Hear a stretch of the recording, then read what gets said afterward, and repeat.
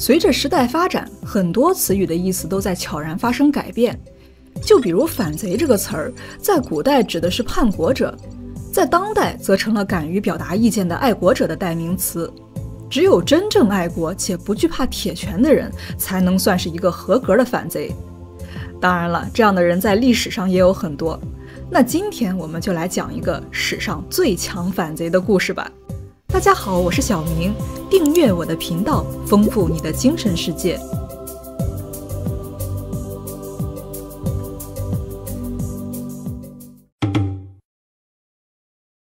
一六九四年十一月二十一日，巴黎新桥附近的一个富裕的资产阶级家庭里，又添了一个小男婴。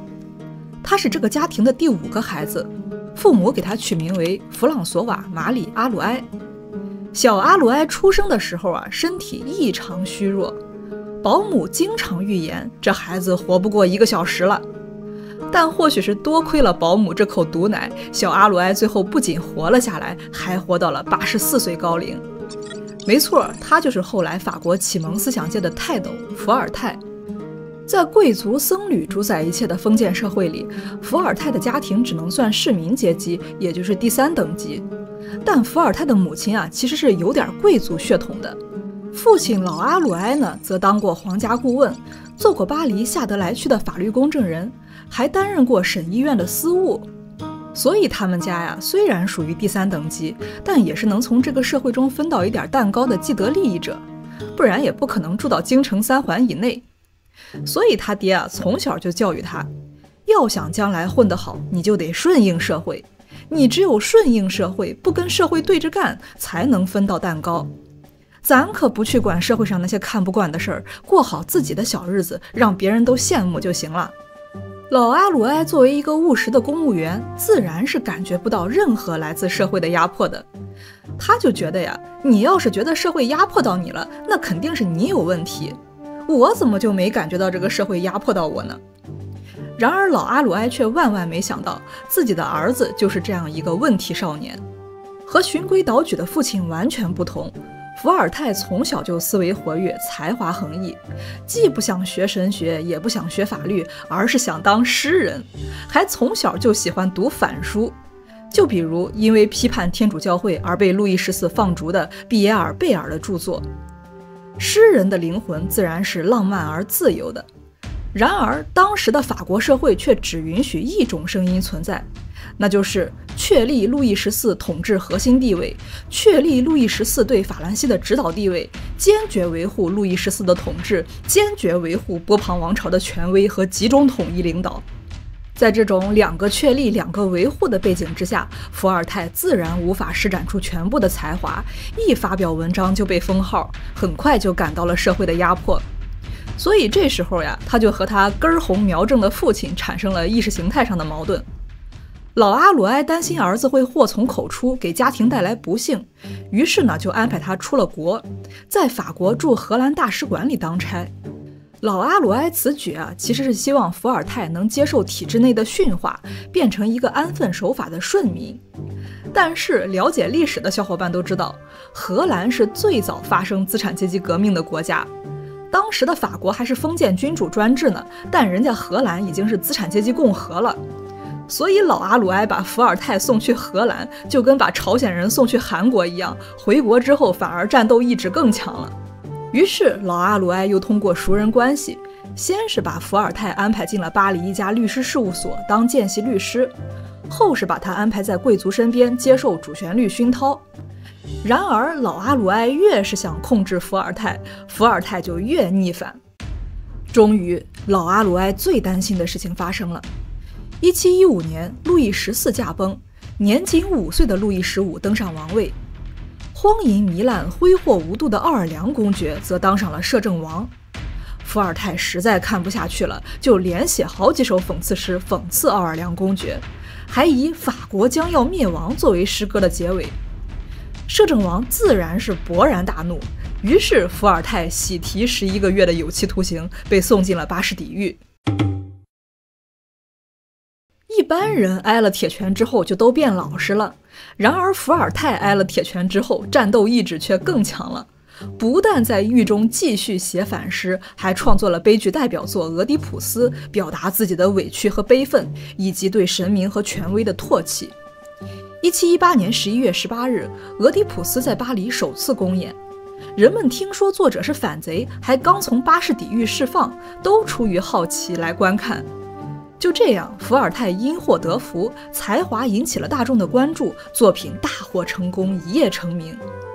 据说啊，伏尔泰的父亲老阿鲁埃也去看了演出，悲喜交加，老泪纵横，最后抱着复杂的心情，在1722年留下一大笔遗产后离开了人世。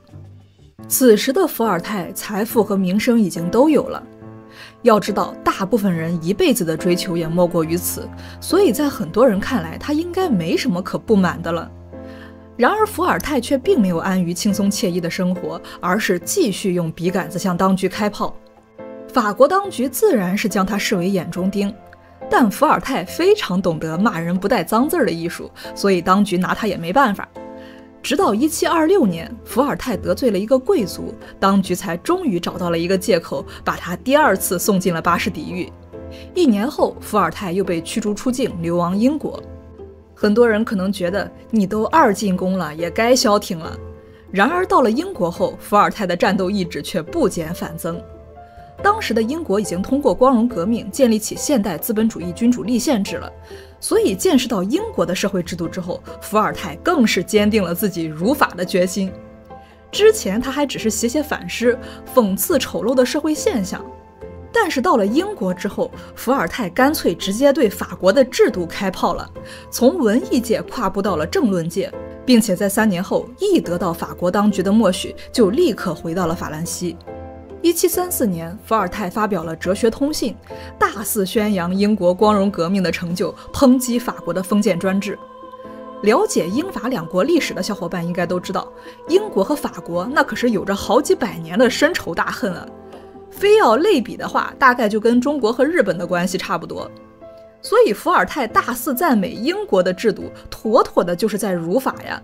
法国当局自然是立刻下令焚书坑儒了。就这样。有钱有名又在上流社会混得风生水起的伏尔泰，又自己主动往枪口上撞，给自己惹了一身麻烦。好在这一次呀，情人沙特莱侯爵夫人向他伸出了援助之手。这个沙特莱侯爵夫人可不是一般人，而是一位能文能武的女中豪杰，通晓五种语言，在数学、物理学方面有着非常高的造诣，还是牛顿《自然哲学数学原理》一书的法文翻译者。所以，她和伏尔泰啊是一对情投意合、惺惺相惜的伴侣，而她的老公沙特莱侯爵也不是一般人，不但对妻子的移情别恋毫不介意，还把自己位于西塞镇的雷西别墅给妻子和伏尔泰使用。这侯爵就觉得呀，自己常年在外打仗，有个人能替自己陪着老婆还挺好的，更何况是这样一位伟大的作家呢？就这样，伏尔泰和沙特莱侯爵夫人开始了一段长达十五年的幸福生活。他们一起研读牛顿的著作，做各种物理实验，还一起出国游玩。沙特莱侯爵夫人，还到处托人找关系，通过路易十五的情妇蓬巴杜夫人的疏通，让伏尔泰获得了赦免，回到了巴黎，甚至还进了凡尔赛宫，得到了贵族乃至国王的赏识。然而啊，幸福的生活最终还是因为一场不幸走到了终点。一七四九年，沙特莱侯爵夫人因难产逝世。虽然很遗憾，但这也不能怪伏尔泰，毕竟孩子也不是他的。而且伏尔泰虽然失去了灵魂伴侣，也因此疏离了凡尔赛的贵族圈子，得以全身心投入到火热的启蒙运动中。当时啊，欧洲很多国王都喜欢给自己立开明君主的人设，笼络一些社会名流到自己身边，这也是伏尔泰之前能进入凡尔赛的原因。君主允许意见人士存在，才能证明自己开明嘛。而且伏尔泰又恰好是一个主张开明君主制的人，所以1750年，他又被以开明君主自居的普鲁士国王腓特烈二世笼络到了身边。此时的伏尔泰虽已年过半百，但依旧斗志昂扬，以为自己能在腓特烈二世身上实现自己的政治理想。但很快他就发现了。腓特烈二世啊，跟路易十五没什么区别，就是个专制君主，只是在利用自己包装人设而已。于是伏尔泰很快就把腓特烈二世拉黑了，愤然离开普鲁士，跑到日内瓦一个叫费内的地方定居下来。日内瓦当局啊，一开始不太欢迎伏尔泰，毕竟此人反贼名声在外，要是带坏当地年轻人可咋办呢？但伏尔泰却说呀：“哎呀，我都一把年纪了，已经不可能再对年轻人产生什么影响了。”当局看了看他枯瘦小老头的模样，觉得有道理，于是伏尔泰就靠卖惨成功落户了。然而事实证明啊，战斗机除非陨落，否则是不会熄火的。所以刚一安顿下来，伏尔泰就又开始用化名写作了。他不停地在《瑞士报》上匿名发表文章，还大量印刷反动小册子，抨击天主教会和新教的种种罪恶，揭露专制政府草菅人命的种种罪行。他还跟观点立场不同的其他公知在舆论场上各种撕逼大战，留下了很多人们议论至今的八卦。与此同时啊，他还积极参与日内瓦的政治斗争，实践自己的政治理想，并且在实践中总结经验，写成新的论著。由于他的战斗力实在是太强了，人们还给他起了个外号，叫“费内教长”。法国当局面对这么一个战斗机，自然是一个头两个大。然而此时的伏尔泰已经是润人了，国王也鞭长莫及，只能不断查抄他的各种作品，封杀他的各种小号。一七六八年，巴黎高等法院把伏尔泰讽刺封建专制的作品有四十金币的人全部查抄，并当众销毁，就连出售此书的书商也一律抓了起来。但越是这样，人们越是疯狂地找他的作品来读。于是啊，伏尔泰的影响反而越来越大，成了欧洲文化界元老级人物。直到一七七八年，八十三岁高龄的伏尔泰行将就木，才终于战斗不动了。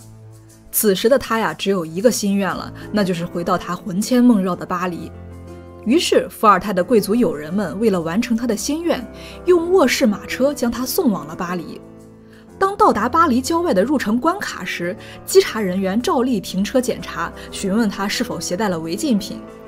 而这位老人则幽默地说：“这里除了伏尔泰之外，没有任何违禁品。”就这样，一七七八年二月初，伏尔泰回到了阔别二十九年的巴黎，瞬间轰动全城，人们奔走相告，而伏尔泰也终于完成了所有心愿，在几个月后与世长辞，灵柩被巴黎人民永远地摆放在了先贤祠中。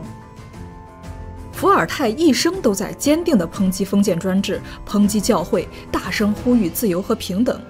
但他却又不敢像卢梭一样坚定地说出主权在民，不敢像孟德斯鸠一样大胆地说出哪种制度更优越。孟德斯鸠和卢梭都是典型的加速党，对封建君主专制没有任何的幻想。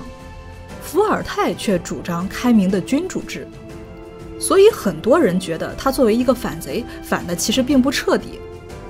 那么问题来了，伏尔泰显然是一点都不怕铁拳的。那么他到底在怕什么呢？其实从伏尔泰的故事中就能看出，法国贵族中啊有相当一部分人是非常开明的。事实上，很多启蒙思想家，比如孟德斯鸠，本身就是贵族。启蒙思想最初也正是在贵族圈子中传播开来的。伏尔泰的朋友也大都是贵族和中产，正是得益于他们伸出的援手，他才度过了充裕的一生，并且寿终正寝。另外，在日内瓦时，伏尔泰一直在从事慈善事业，为普通人谋取福利，还建了好几所学校。可见这个人内心是非常善良的。所以我觉得呀，伏尔泰是害怕法兰西流太多的血，寄希望于法国能够像英国一样平稳变革。不管是贵族还是平民，他都不希望有人成为我们要不惜一切代价中的那个代价。然而，就在伏尔泰去世十一年后，法国就爆发了轰轰烈烈的大革命，在通向民主的道路上走了最曲里拐弯的路，流了最多的血。